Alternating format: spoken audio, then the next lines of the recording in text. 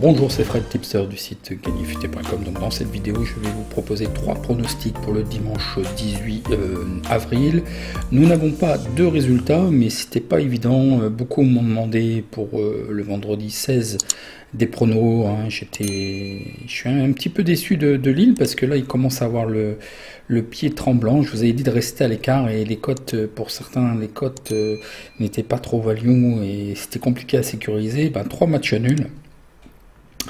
Montpellier commence à être de, mieux en mieux à l'extérieur. C'était une équipe qui était surtout solide à domicile, mais commence à perdre de moins en moins de points à l'extérieur. Tottenham, je les mets aussi euh, dans le même sac qu'Arsenal, Liverpool, et un petit peu, à moindre mesure, euh, City, j'ai un petit peu de mal avec ces équipes. Et eh ben encore décevant, quoi, un match nul. Donc je vous rappelle pour ce samedi, hein, vous avez en vidéo euh, les, pronostics sont présents sur la chaîne et très important parce que je vais vous renvoyer souvent jusqu'à la fin de saison. Prenez en compte un petit peu, j'ai fait une évaluation des points minimum qu'il faudra pour chaque championnat euh, pour sauver sa saison en fait et j'ai fait une vidéo spécifique où je vous démontre un petit peu euh, ma démarche et euh, le nombre de points qu'il faudra pour chaque équipe, grosso modo, pour au moins se maintenir. Donc il y aura beaucoup de pronos que je ne prendrai pas en compte et que je vous dirai qu'il n'y a plus d'enjeu parce que même les équipes en fait seront sauvées et ne pourront plus accéder aux places européennes, donc ça sera plus intéressant. Et puis euh, je vais essayer hebdomadairement de vous mettre alors je suis en train de travailler sur les alertes, de vous mettre en fait la liste de détection des, des éventuels euh, buts des, des, des, buteurs dans, les, dans, dans, dans la semaine à venir pour chaque semaine.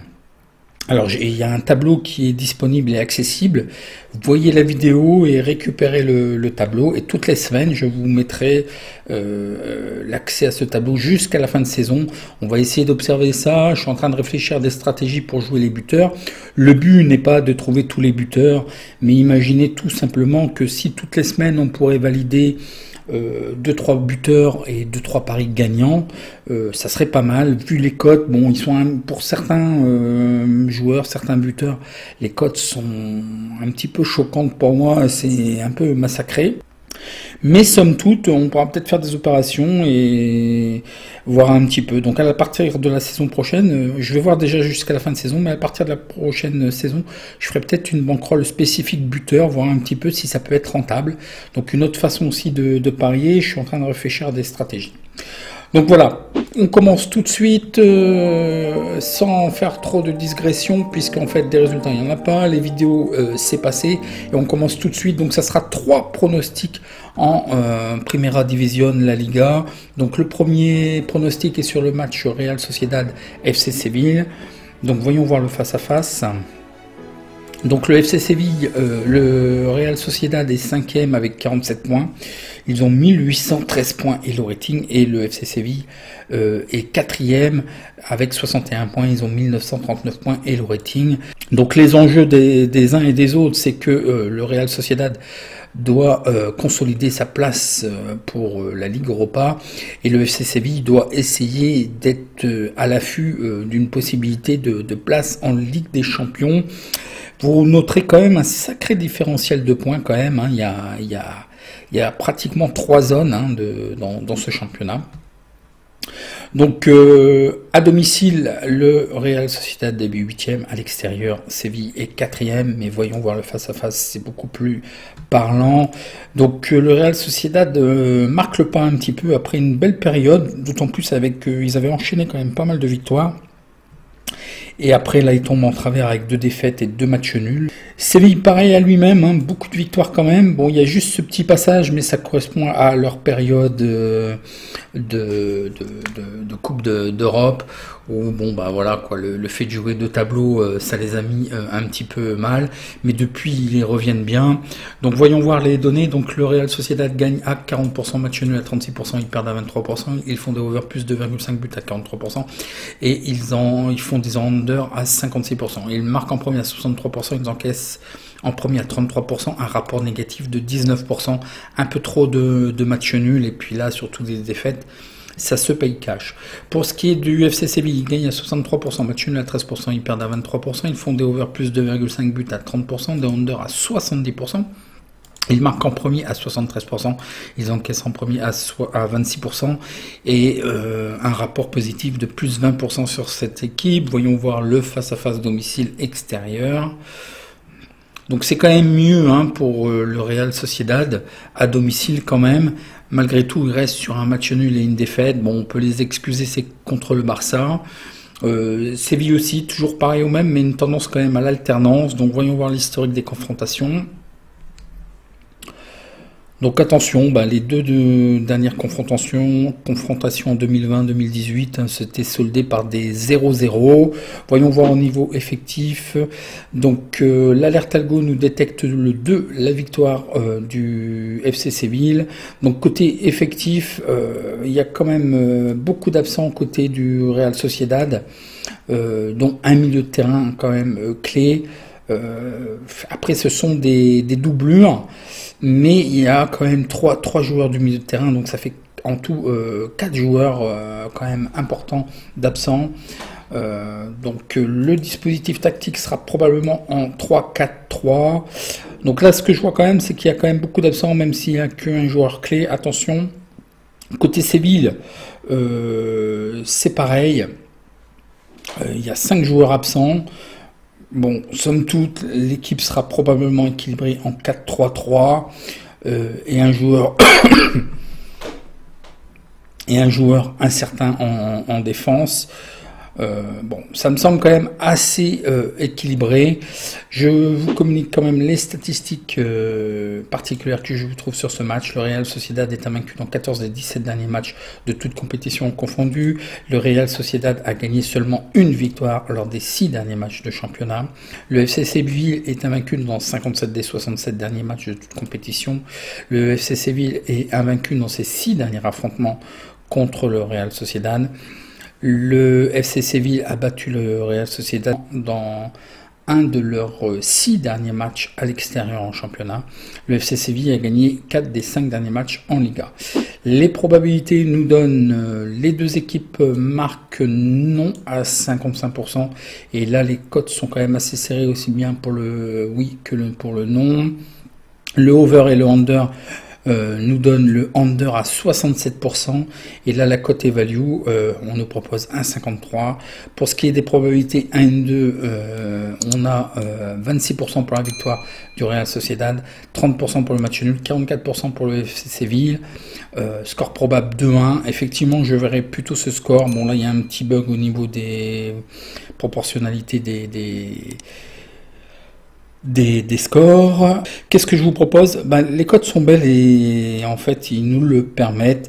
Moi je ne vois pas le FC Séville euh, faire une, défaite du FC Séville, je ne les vois pas perdre. Euh, par rapport au classement, euh, ils ont quand même une carte à, à jouer et à défendre. Donc les codes le permettent, je vous propose simplement la victoire du FC mais je crois plus parce qu'il y a quand même des, absents et je, pense que le Real Sociedad là est en train vraiment de, de marquer un petit peu trop le pas. Ça déclenche plus. Donc le, 2 remboursé si N, et dans ce cas-là, on a une cote équivalente qui est quand même assez intéressante à 1,74, c'est quand même acceptable. Le FC Séville que je ne jouerai pas trop quand même parce qu'il y a quand même des absents, même si l'équipe me semble encore assez bien équilibrée et c'est pas encore euh, le, plus grave. Mais voilà. Donc le, plus sage, un pari sécurisé, deux remboursés N. Le match suivant est l'Atlético euh, de Madrid euh, et barre. Donc attention, hein, j'ai toujours des problèmes avec les lanternes rouges.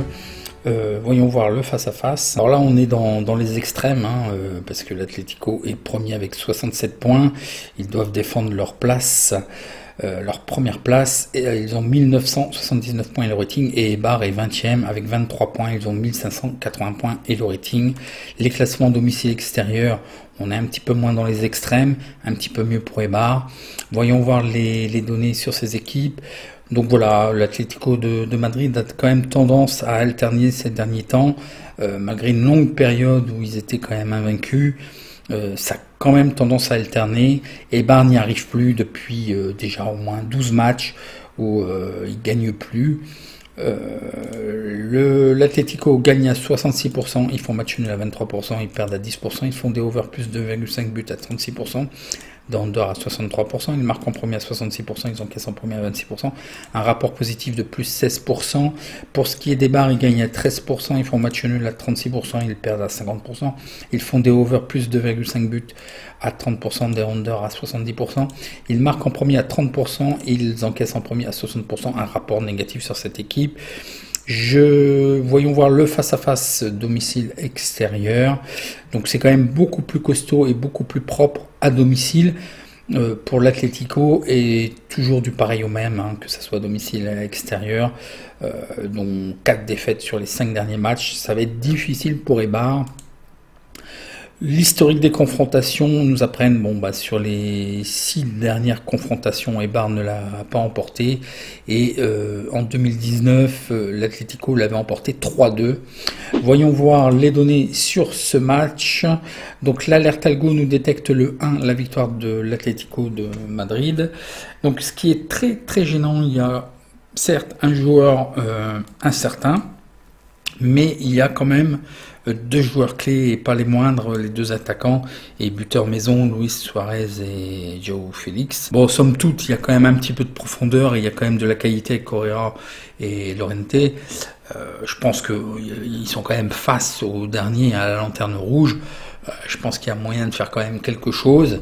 Surtout que euh, justement cette lanterne rouge, il y a énormément de joueurs incertains et euh, il y a des joueurs clés absents, euh, dont un, milieu de terrain faisant partie, selon moi, du dispositif tactique et de l'équipe type, euh, qui est suspendu, donc un milieu de terrain, et puis un second euh, milieu de terrain aussi qui, qui, sera gênant de par son absence, et un défenseur. Donc pour moi déjà, d'une, il y a trois joueurs clés absents. Euh, avec ça, euh, on a encore euh, trois autres joueurs qui seront absents et c'est encore euh, des milieux de terrain. Donc bon, ça va être, ça me semble quand même assez difficile. Et je vous ai passé les détails, mais il y a encore pas mal de joueurs incertains. Donc ça va être compliqué. Bon, malgré tout, la feuille de match probable sera certainement en 4-4-2. Attention, et ben, ça va être à mon avis très difficile pour ce match. Les statistiques particulières que je vous ai trouvées, l'Atlético de Madrid est invaincu dans 50 des 59 derniers matchs de toute compétition. L'Atlético de Madrid, dans les 5 derniers matchs de toute compétition, il y a eu moins 2,5 buts. L'équipe de l'Atlético de Madrid a concédé une moyenne de 0,60 buts dans leur match à domicile en Liga. Ebar n'a remporté que 3 des 22 derniers matchs de toute compétition. Il y a eu moins 2,5 buts dans ces 4 derniers matchs à l'extérieur de Liga pour Ebar. Donc c'est une constante sur les deux. Et en moyenne, Ebar a marqué 0,73 buts lors de ces matchs de Liga. Les probabilités, le BTS, les deux équipes marquent non à 52%. Et là, il y a, euh, c'est un peu trop bas au niveau de la, de la cote. Donc ce n'est pas value. Au niveau de l'over-under, c'est le under à 59%. Euh, Là aussi, la cote est un peu trop faible. Les probabilités nous donnent euh, la victoire de l'Atlético à 69%, 21% euh, pour le match nul, 10% pour Ebar, score probable 2-0, peut-être même le plus petit score 1-0 d'ailleurs dans les données probabilité de score, parce que euh, malheureusement l'Atlético sont assez décevants, ils sont un peu trop défensifs, d'autant plus que là il n'y a pas Félix ni Suarez pour animer un peu le peu d'animation offensive. Euh, là, il y, a, beaucoup de changements dans cette équipe. Depuis quelques temps, ils sont, ils sont devenus euh, beaucoup plus défensifs. Je peux le comprendre face au Real, face au Barça. Euh, là, on va voir, c'est face à Eibar, je pense qu'il pourrait avoir un peu plus d'animation offensive. C'est des fois un petit peu pénible à regarder. L'Atletico, c'est pas un, très beau football quand même qu'il développe. Bon, là, ce qui nous intéresse, c'est le prono. Euh, donc il est limite. Alors faites attention, hein, je vous ai dit euh, contre les lanternes rouges, je dois avoir euh, cette année perdu la moitié grosso modo. Je, regarderai exactement, mais je perds la moitié de mes pronostics contre les lanternes rouges. D'ailleurs, pour être sûr de ne pas me tromper, je pense que l'année prochaine, je vais rajouter à chaque fois au moment du pari les places au classement et peut-être leur elo rating pour faire des stats par rapport à ça. Bon, somme toute, on nous propose 1,46. C'est la marge de value n'est pas énorme, mais c'est value. Donc voilà, tout simplement, je vous propose. Là, il faut vraiment qu'ils défendent leur place. Euh, Félix ou pas Félix, Suarez ou pas Suarez, contre Ebar qui est amoindri. Euh, je pense que là, s'ils gagnent pas, bon bah la Liga c'est terminé pour eux quoi. C'est la tête du classement est terminée. Hein. Donc là aussi, c'est un match à jeu. Il faut absolument qu'ils gagnent par n'importe quel moyen, même 1-0, mais il faut qu'ils gagnent. Je pense qu'il y aura peut-être 1-0, 2-0 sur ce match. Donc voilà, tout simplement sec l'Atlético à 1,46. Voyons le match suivant qui est toujours et encore en première division de la Liga. Betis contre Valence. Donc voyons voir le face à face. Alors le Real Betis est sixième avec 47 points. Ils ont 1800 points et le rating. Et Valence est 13e un petit peu dans le ventre creux du classement. 13e place avec 34 points. Ils ont 1703 points et le rating. Il y a pratiquement plus d'enjeux. Ils sont sauvés pour moi. Euh, attraper les places européennes, ça me semble euh, trop tard maintenant. Le classement domicile extérieur, mais voyons voir les données. Donc euh, le Betis quand même a bien tenu sa saison. D'autant plus que là, ils finissent quand même assez bien. Ils restent quand même sur deux matchs nuls, mais excusez du peu, c'est contre l'Atlético. Donc c'est quand même une belle performance. Ce qui est un peu gênant et ce qui est embêtant dans tous leurs derniers résultats, c'est d'avoir perdu bêtement des points contre Elche. Euh, pour ce qui est de, Valence, bon bah ça alterne énormément, il n'y a, pas de régularité. C'est une équipe qui est meilleure à domicile. Si vous regardez la match nul euh, et puis trois victoires, quatre victoires à domicile, donc à l'extérieur, c'est essentiellement à l'extérieur que cette équipe bizarrement perd ses points. Le Betis gagne à 46%, match nul à 16%, ils perdent à 36%. Ils font des over plus 2,5 buts à 40%, des under à 60%. Ils marquent en premier à 47%, ils encaissent en premier à 53%. Un petit rapport de plus 6% sur cette équipe. Pour ce qui est de Valence, ils gagnent à 26%, match nul à 33%, ils perdent à 40%. Des over plus 2,5 buts à 53%, des under à 46%. Ils marquent en premier à 40%, ils encaissent en premier à 60%. Un rapport négatif de 7%, c'est pas encore euh, trop grave, mais c'est dommage. Cette équipe perd ses points à domicile. Euh, à l'extérieur, pardon. Et ils font essentiellement leurs points. Voilà, c'est catastrophique à l'extérieur.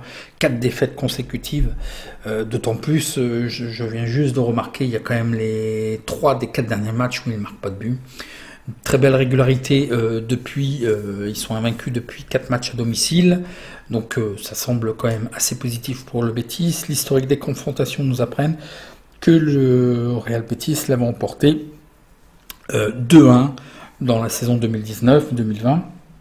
Voyons voir au niveau effectif. Donc l'alerte algo nous détecte le 1, la victoire du Bétis. Côté Bétis, euh, un dispositif tactique probable en 4-2-3-1, uniquement deux absents, donc ça reste quand même convenable et correct.